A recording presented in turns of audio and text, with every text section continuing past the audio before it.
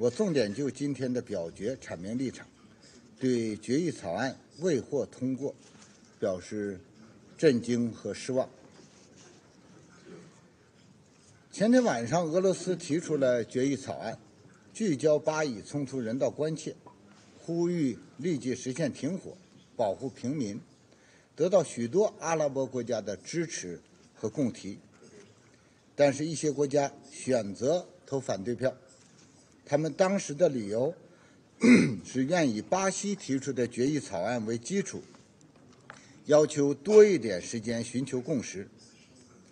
巴西同事和很多安理会成员展现了建设性态度，同意将表决时间推迟二十四小时，之后又推迟到现在。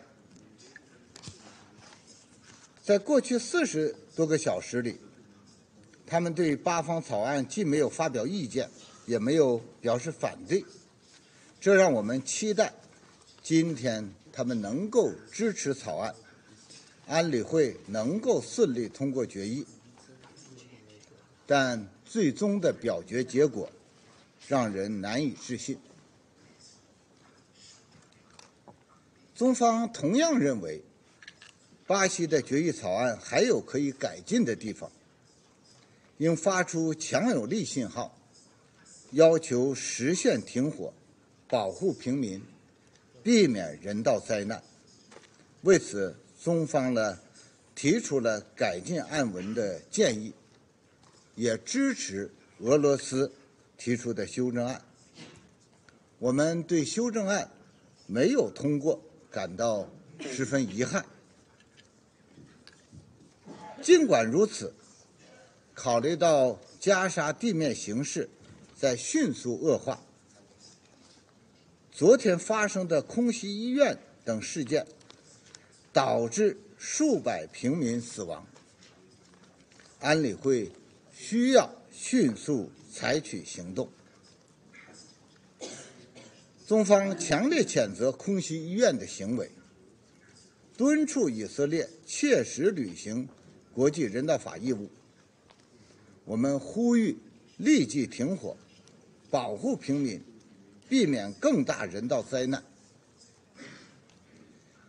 巴西提出的决议草案总体上反映了国际社会的普遍呼声，代表了安理会推动实现停火的起始步骤，